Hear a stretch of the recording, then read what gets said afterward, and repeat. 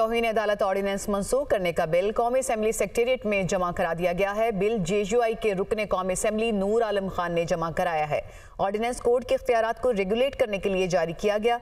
नूर आलम खान की जानब से ये कहा गया, और ऑर्डिनेंस आइन के आर्टिकल 204 की शिक दो के मुताबिक नहीं है। इस ऑर्डिनेंस से मतलूबा मकासद पूरे नहीं हो सके।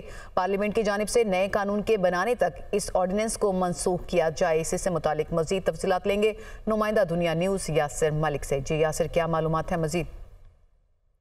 आपको बताएँ कि तोहिन अदालत का ये ऑर्डिनेंस मनसूख करने का बिल है, जो कि कौमी असम्बली सेक्रेटरिएट में जमा कराया गया है, और रुकन कौमी असम्बली नूर आलम खान की जानब से ये बिल जमा कराया गया है, जिसमें उन्होंने ये मौकफ इख्तियार किया है कि ऑर्डिनेंस कोर्ट के इख्तियार को रेगुलेट करने के लिए जारी किया गया था। यासर मालिक, मजीद क्या डिटेल्स हैं इस, से मुतालिक ये जो बिल कौमी असम्बली सेक्रेटरिएट में जमा हुआ है?